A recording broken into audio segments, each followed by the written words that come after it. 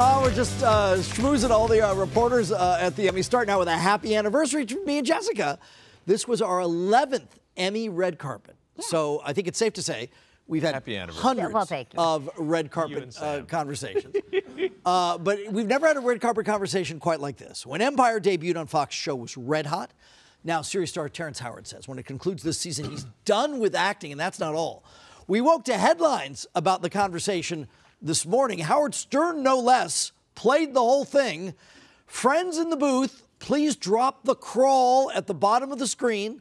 Take it away because we've taken what Terrence said, we put the words at the bottom of the screen to see we can all better understand it.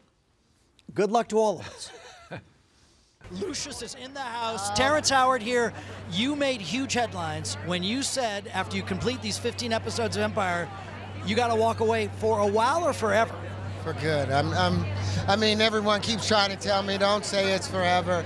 But I've spent 37 years pretending to be people so that people can pretend to watch and enjoy what I'm doing when I've made some discoveries in my own personal life with the science that you know, Pythagoras was searching for. I was able to open up the flower of life properly and find the real wave conjugations that we've been looking for for 10,000 years. Why would I continue, you know, walking on water for tips when I've got an entire generation to teach a whole new world? That, that's a big remark. What, what, what do you intend to, to do?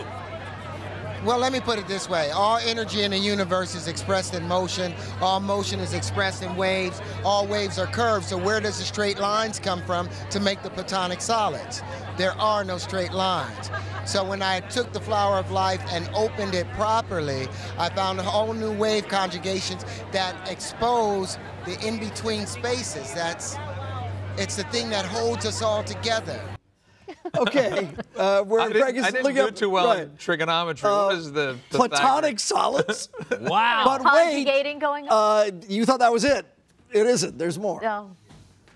I'm sharing that on, on Tuesday when I receive my star. I'm going to be able to prove that gravity is only an effect and not a force. I'm putting something on YouTube Really? where I will build the planet Saturn without gravity and build the Milky Way galaxy Wow. without gravity Did you On also say you're getting your star on Tuesday? Yeah. on the Walk of on the Fame? Walk of Fame, Well, which is interesting. How am I getting a star when I've never for TV when I've never received an Emmy nomination for TV? You're a presenter tonight. You can do whatever you want when you stand in front of that microphone. What are you going to do? I have no idea. I'm just I'm just being honest and looking at it. You know, I would think an Emmy nomination would come first. Well, there you are. I tried to change the subject. Right. Aren't you getting a He's star? rebuilding the universe. You're going, well, you're getting a star. So again, I think that will be an even uh, more widely attended and cover. Uh, he gets a star Tuesday on the Hollywood Walk Yeah. of We gotta Fame. be there. We really. But he's rebuilding Saturn Right. Yeah, at that without last. Yes. gravity. and no That platonic solids. Yeah. I, I don't want to go viral. Right. This right. is, See, this that, is that, not that, that actually that is you. Like the whole world is trying to go viral, and you don't want to go not. viral. No, That's good. Good for you. You're uh, being true to yourself.